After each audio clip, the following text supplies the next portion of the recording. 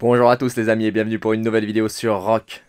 Aujourd'hui les amis, vous le voyez, c'est fini, 17h, 2 minutes 46 secondes et c'est la fin du KVK saison 4 pour tous ceux qui étaient en saison 4 Light and Darkness.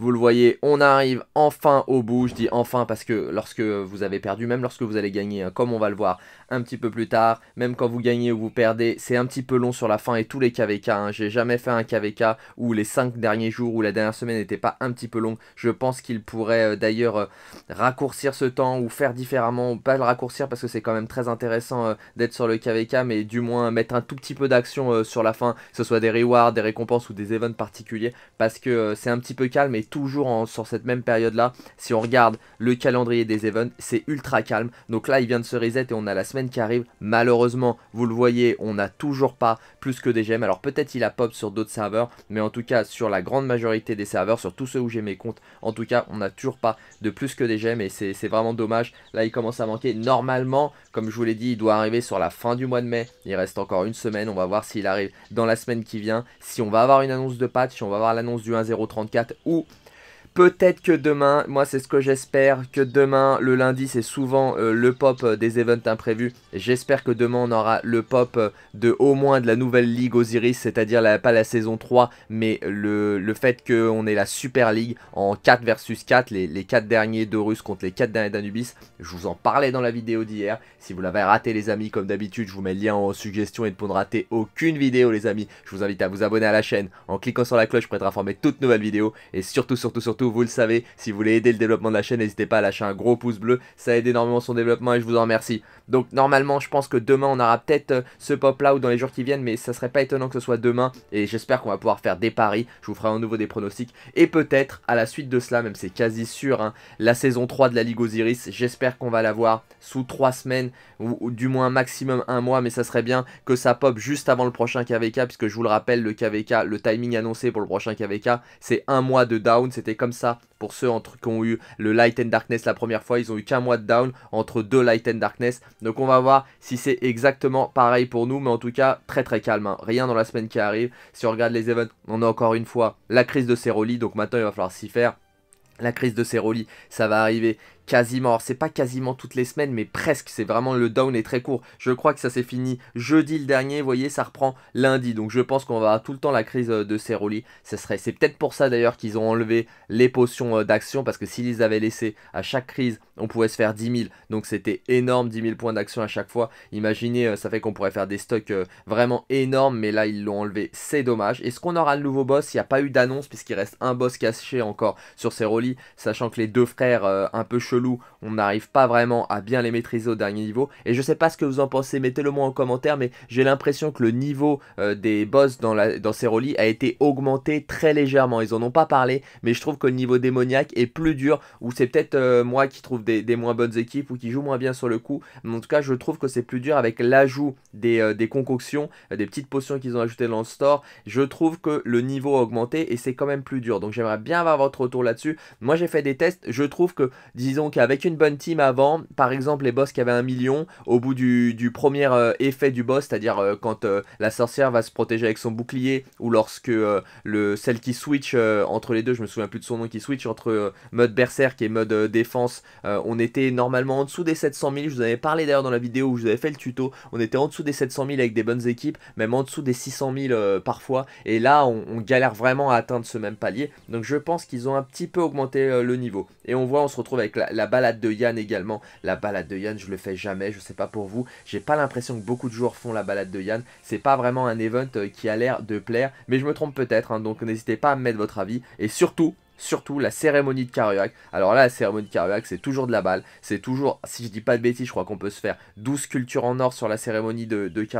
C'est vraiment un excellent event. Moi, je le kiffe. C'est vraiment un investissement euh, pour euh, peu, peu d'investissement en point d'action, voire zéro si vous le faites bien. Je vous le rappelle, si vous le faites bien timer, on en reparlera quand il va pop, mais bien timer, vous n'usez aucune potion d'action et euh, le, le Karuak c'est vraiment top sans compter les boss, les boss qu'on fait en, groupe et ceux qu'on fait en individuel. Donc c'est vraiment de la balle cet event, je kiffe quand il vient et on l'a de plus en plus souvent. J'ai l'impression que le timing maintenant il est deux ou trois semaines, je dirais peut-être trois semaines, trois semaines, toutes les trois semaines on a, on a la cérémonie Karuak mais toujours pas de plus que des gemmes.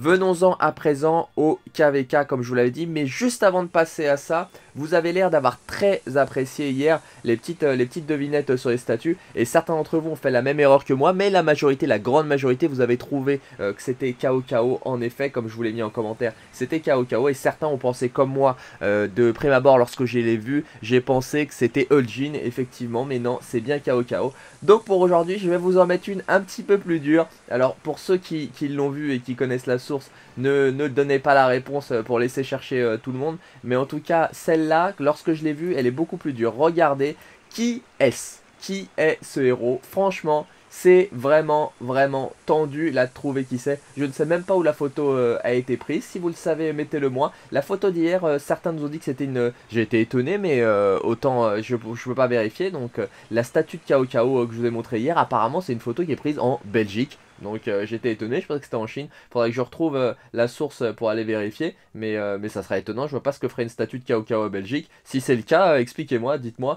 Mais en tout cas, je, ne vois pas ce qu'elle ferait là-bas. Donc je pense plutôt que c'était en Chine. Regardez ce héros-là, trouvez qui c'est. C'est, je vous préviens, c'est tendu. Et si vous savez qui c'est et d'où vient la statue, n'hésitez pas, à, pas à le mettre en commentaire. Mais là, c'est vraiment l'une des plus difficiles que j'ai vues. Moi, si j'avais pas vu le nom, jamais j'aurais trouvé euh, qui, qui c'était. C'est vraiment tendu pour le coup, donc n'hésitez pas à le mettre en commentaire. Je vous mettrai euh, qui c'est euh, par la suite si vous trouvez pas, mais je suis persuadé que certains d'entre vous vont trouver sans problème, puisque j'ai vu que certains étaient des experts dans les détails, avaient vu des détails sculptés sur la statue de Kao pour reconnaître notamment sur le manche de son épée ou sur sa robe, donc il y a vraiment des professionnels du détail. Donc là, si vous trouvez grâce à un détail particulier, n'hésitez pas à me le mettre en commentaire. Passons donc euh, au KVK qui se finissent et on va aller voir, faire un petit tour de ce qui s'est passé donc sur le, finish puisque c'est vraiment le moment euh, où moi je regarde vraiment en détail chaque KVK pour savoir quelle a été la physionomie, quels sont les serveurs qui ont gagné, quels sont les serveurs qui ont perdu ou quels sont les serveurs qui sont euh, en statu quo, puisque même si là on est dans la destruction de bâtiments sur la de Darkness, on peut avoir un statu quo. Et euh, en parallèle, n'oubliez pas les deux KVK que je vous ai montré euh, récemment, le 57 et le 88, hein, ces deux KVK énormes, ça se frite toujours de ouf. Donc si vous voulez voir encore des batailles épiques, les mecs ne lâchent rien.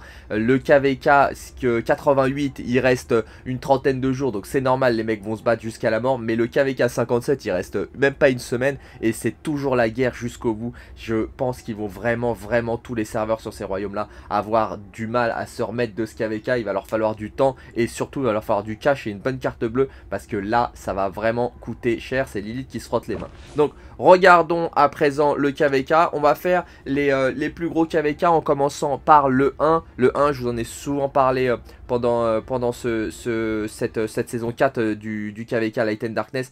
C'est normal, c'est un très gros KVK. Je vous le rappelle, sur ce KVK là, on avait parmi les plus gros serveurs, hein, on avait les, les Boom, les FN d'un côté en Imperium. En phase 2, on avait le K93, le plus gros Imperium du jeu.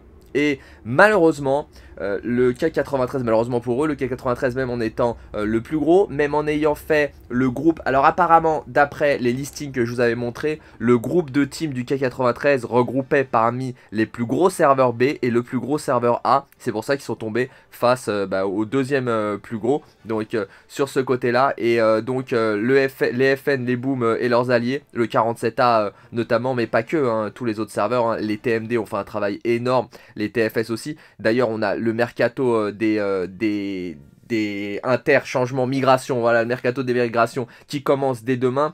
Et euh, les, les, 47A de ce que j'en sais reçoit beaucoup de demandes tout comme euh, les, euh, les TMD, TFS, leurs serveurs, je ne sais pas pour les autres mais en tout cas ces deux serveurs là reçoivent vraiment beaucoup de demandes. Et il serait pas étonnant que même les serveurs perdants puisque le, le vert par exemple ici qui, qui, a perdu ou plus au sud le bleu foncé ou le, le mauve, serait pas étonnant non plus les OH28 par exemple ou, euh, les, les, MO qui reçoivent beaucoup de demandes de gens qui veulent migrer puisqu'ils ont fait tous euh, un gros KVK même si comme vous le voyez là donc on va voir si c'est euh, si ça a été la règle de faire des alliances pour récompenser les serveurs qui sont qui sont grandement battus qui se sont bien battus puisque comme vous le voyez là il y a eu des petits accords et des échanges de forteresses entre les jaunes et les mauves alors il n'y a pas eu d'échange de cercle de ce que j'en sais sur ce royaume là il y a eu que des échanges de camps croisés et de forteresses et là c'est un peu pareil hein. il y a eu des échanges avec les 47 aussi aussi, les mauves et les roses sur ce côté-là, entre les bleus et les oranges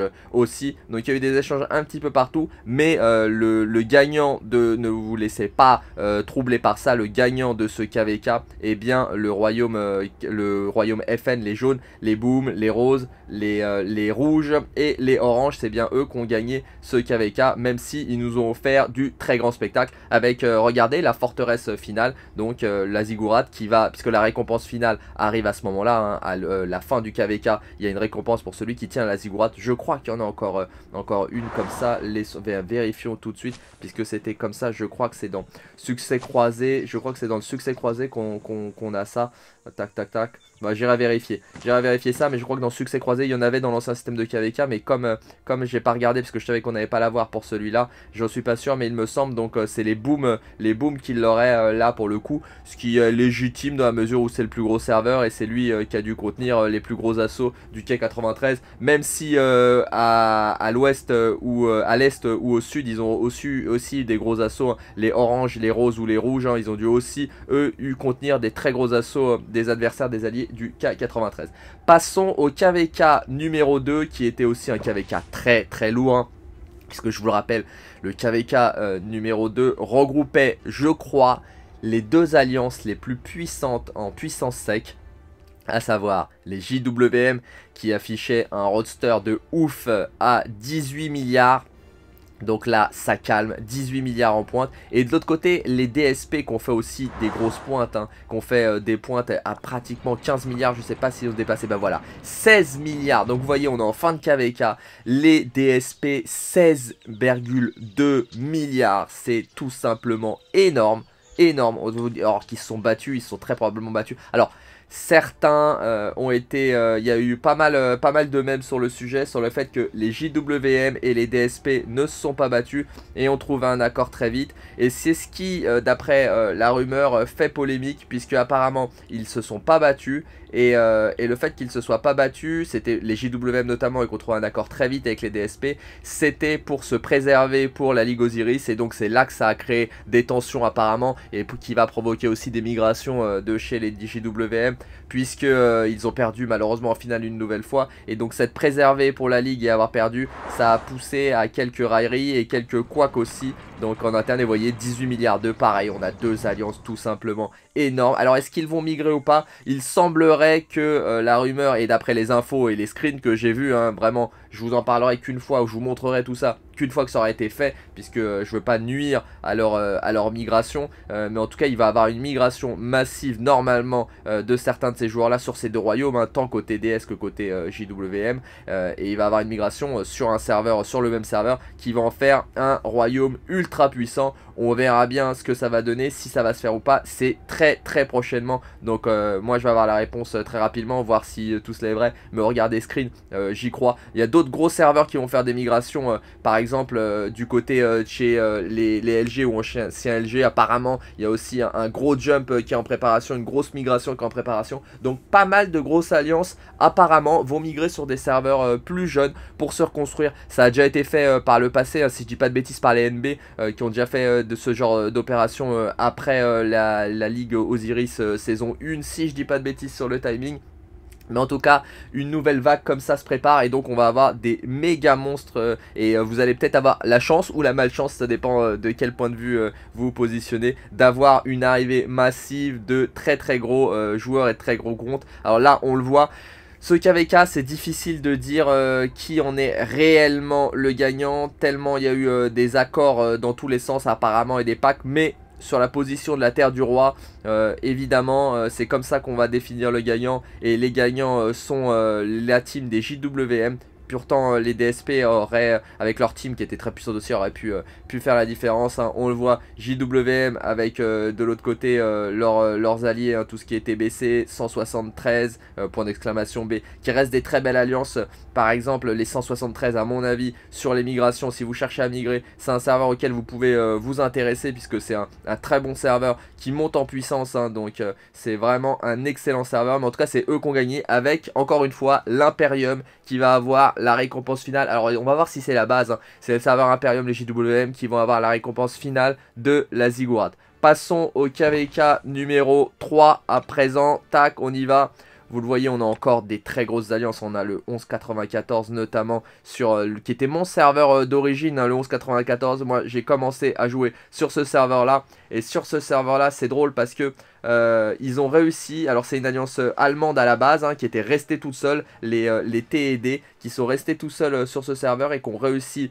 à, la le reconstruire totalement. Ils ont mis beaucoup de temps, ils ont mis près d'un an à le reconstruire, mais maintenant c'est redevenu un serveur très performant. Donc si vous voulez aussi vous pencher sur un serveur intéressant et qui a des bonnes perfs, le 1194 100 en est un sur lequel vous pouvez vous pencher. On le voit là, c'est le rose qui a gagné, hein, les 185 côté Imperium et leur team qui a gagné. Euh, avec euh, le serveur 17, euh, le bleu foncé, le vert, hein, les VF, les VF aussi, un très très bon serveur. Hein. Celui-là, si vous cherchez un bon serveur francophone avec des belles alliances francophones, vous avez celui-là, si je dis pas de bêtises, c'est le 11. Alors que je me dise pas de bêtises, 87, ouais c'est ça, 1187. Très bon serveur, le 1187 aussi. Donc si vous voulez vous pencher sur des bons serveurs francophones, ça en est un avec des, belles alliances, hein, les VIFR notamment. Alors à combien ils sont de puissance fin de KVK. Des gros guerriers, 8 milliards 100, vous voyez, très très grosse alliance. Sans doute la deuxième plus grosse alliance francophone, tout, tout juste derrière les 88 WG euh, du 1288.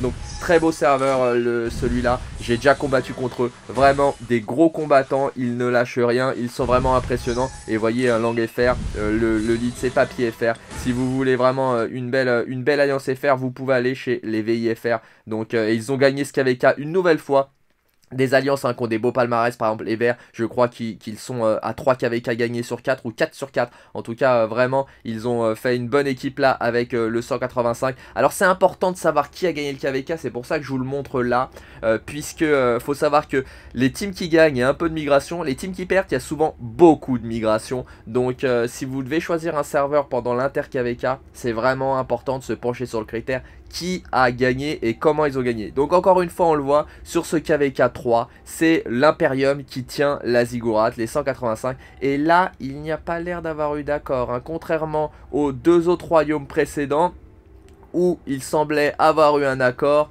Là, il y a zéro accord. Ah, si, peut-être là. Si donc les bleus ont fait un accord avec euh, les, rouges, les bleus foncés ont fait un accord avec les rouges. Est-ce que les verts, les verts ont aussi fait un accord puisque tout brûle? Mais euh, attendez, est-ce que ah non non les verts ont pas fait d'accord parce que c'est eux qui ont envahi le terrain. Ils ont rien lâché. Ça c'était c'est pas étonnant euh, des, des, VI. Hein. C'est eux ils lâcheront rien. Pareil hein, le 1194 n'a rien cédé et a pris le terrain à côté. Donc il y a que les bleus et les rouges qui se sont fait un accord, je dirais. Les autres n'ont pas fait d'accord pour, euh, pour de l'échange de bâtiments. Je dis pas de bêtises, hein, il y a bien un échange ou pas. Ouais, il y a bien un échange sur ce côté-là. Sinon, pas d'échange euh, de, des autres côtés. Donc c'est peut-être euh, dans les trois gros celui qui a fait le moins d'accord pour le coup et qui a vraiment voulu bah, tabasser jusqu'au bout leurs adversaires. On va se pencher maintenant sur le KVK numéro 4. Tac, hop là. Et après, on ira voir en dernier le KVK 6. Hop là, on remonte ce petit KVK, le KVK 4. Hop là, on se positionne là. Donc euh, des grosses alliances hein, sur le côté, le 1341, tout simplement énorme. Et encore une fois, c'est l'Imperium qui a euh, la Ziggurat. Alors ces serveurs là, je les connais, euh, je les connais beaucoup moins. Le 1341, je le connais, c'est un, très gros serveur bien évidemment, puisque en plus il est Imperium, il a bien bien drivé son KVK. Ça s'est passé assez tranquille hein, pour lui, ce KVK. Il n'y a pas eu tellement de, je dirais, de rebondissement. Ça a été linéaire et ils n'ont pas eu tellement d'embrouilles. Hein. Ils ont vraiment ça a vraiment coulé sur ce KVK. Si vous y avez été, n'hésitez pas à me raconter comment c'était de, l'intérieur. Mais en tout cas, ça a été un KVK vraiment classique et il n'y a pas eu de rebondissement. Le, la team du 41 a pris, euh, a pris le, lead, a pris la terre du roi et ils l'ont euh, tenu jusqu'au bout. Donc peut-être un problème de matchmaking, peut-être un, problème euh, d'actif ou pas. En tout cas, sur celui-là, ça a vraiment roulé. Pour finir, on va finir avec euh, l'un des plus euh, éponymes des KVK. on va pas sauter quand même celui de, de Shizgul parce que, parce que ça a été un beau KVK avec euh, pas mal de rebondissements. Donc le 5 d'abord. On va regarder le KVK numéro 5 et vous le voyez sur le KVK numéro 5. Alors là, il y a une petite polémique sur ce KVK là puisque on le voit, le 1075 en bleu clair a perdu. Même s'ils tiennent encore leur porte là, ils ont, ils ont perdu ce KVK. Encore une fois, c'est l'Imperium qui a la Ziggurat. La petite polémique a été faite sur le fait qu'on a reproché à Shizgul de streamer que, que du côté positif quand il gagnait et jamais quand il perdait et d'afficher faussement peut-être laisser penser sans, le dire comme c'était. C'est ce qui a été reproché, hein, qu'il avait peut-être gagné ce KVK et ce qui n'était pas le cas puisqu'apparemment ils se sont bien fait, bien fait tabasser. Mais faut dire ils ont eu beaucoup de résistance face à eux et encore une fois c'est l'Imperium avec les, les, AV qui, qui a tenu, qui a tenu ce, ce KVK jusqu'au bout avec leurs alliés qui a bien gagné et qui va garder la Ziggurat. Vous voyez il s'est même étendu en bas pour aider. Ils sont passés à 3 sur, sur ce côté là donc même à 4 sur ce côté là ce qui montre qu'ils ont dû avoir beaucoup de résistance au sud. On passe, on finit avec le KVK numéro 6. Pourquoi le KVK numéro 6 Car ça a été vraiment un très très beau KVK ce KVK là. On l'a suivi, hein, je vous en avais fait une, chronique d'ailleurs. Et donc le KVK numéro 6, tac, un KVK avec beaucoup de rebondissements euh, aussi. On le voit, on a eu les N3X et les M1X hein, qui étaient euh, le serveur Imperium. Et regardez, ils ont été euh, bloqués pendant longtemps, mais là, il y a dû avoir un accord puisque euh, puisque il y a, y a, pas mal euh, de d'alliances qui ont fait d'échanges de bâtiments puisque de leur côté vous voyez les cercles ont été brûlés. Ça brûle un petit peu de tous les côtés. Donc là il y a dû avoir euh, du gros accord pour échanger les bâtiments. Et on le voit la structure aussi au centre. Et il y a eu beaucoup de rebondissements puisque les, les N3X l'Imperium hein, les Mauves se sont fait repousser au départ. Et après ils ont réussi à faire un, win back vraiment gagnant et, et s'imposer avec aussi hein, des, belles alliances hein, là sur le chez le orange chez le rose on a vraiment des, très grosses alliances qui à mon avis vont, accueillir euh, pas mal de joueurs. D'ailleurs les N3X si vous intéressez à migrer, les N3X et N1X c'est vraiment euh, des serveurs qui sont borderline Imperium. Ils sortent vraiment le 1126 de l'Imperium comme le 1166. C'est deux serveurs qui sont très puissants et qui sont à la limite de la perm à chaque fois et qui arrivent à en sortir euh, pour, pour faire rentrer des joueurs. Voilà pour la tournée des KVK et chose exceptionnelle. Regardez, c'est le orange sur celui-là, c'est pour ça que je vais finir aussi par celui-là, qui ne tient pas euh, la ziggurat, donc c'est pas l'Imperium qui aura la ziggurat finale. Donc c'est le seul dans les 6 premiers qu'on aura vu comme ça. Voilà, écoutez les amis, j'espère que ce tour de KVK va vous aider à savoir euh, comment vivent et comment finissent surtout les, euh, les royaumes. Et si vous êtes en train de, de, choisir où aller, ça va vous permettre de vous forger votre avis pour aller sur un royaume qui a gagné ou un royaume qui a perdu, selon, selon le mouvement. Vous le voyez, moi, ma puissance a bien descendu. Donc si vous vous posez la question et vous me l'avez souvent demandé, oui, je vais migrer. Je vais migrer de serveur. Tout est plié, euh, vous le savez, euh, c'est réglé à présent, surtout si vous le voyez, euh, ma puissance. On va en parler, je pense, dès que je vais avoir fait cette migration. Donc très probablement demain ou, ou en tout début de semaine. en tout cas, je vais vous en parler, je vais vous expliquer un petit peu tout ça. J'espère que cette vidéo vous aura plu. Si c'est le cas, les amis, comme d'habitude, n'hésitez pas à lâcher un colossal pouce bleu. Vous le savez, ça aide énormément le développement de la chaîne. Et je vous en remercie vraiment énormément. Et surtout, surtout, surtout, si ce n'est pas encore fait, aidez-nous à éclater ce plafond des 5000 abonnés. On va le défoncer grâce à vous. N'hésitez pas à vous abonner à la chaîne en cliquant sur la cloche pour être informé de toutes nouvelles vidéos. Je vous souhaite un bon jeu à tous. Prenez soin de vous, faites bien attention à vous. Et je vous dis à plus sur Rock.